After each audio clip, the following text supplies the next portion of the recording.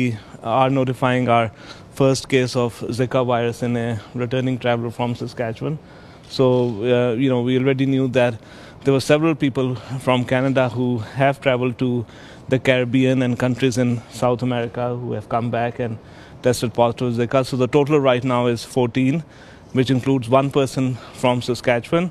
And all the countries that these people have traveled to are on the list of countries that the Public Health Agency and the US CDC lists as Zika transmitting countries. At this point, we just uh, receive aggregate information from the Public, Public Health Agency. So all we can say is that, you know, out of the 14 people who have tested positive in Canada, there's just one who resides in Saskatchewan and went to one of the countries that uh, is transmitting Zika. Uh, there's 29 countries. Canadians go to many of them in he- uh, large numbers. So I think the important thing is that you know, if you are country, going to a country that's listed by the Public Health Agency and by the US CDC and the World Health Organization as a Zika transmitting country, you know, you should take appropriate precautions and defer travel if you're pregnant. I think that's the main message. If you are not pregnant and you traveled and have no symptoms, there's no need to get tested because Zika is otherwise a mild self limiting illness. In 80% of cases, it's asymptomatic.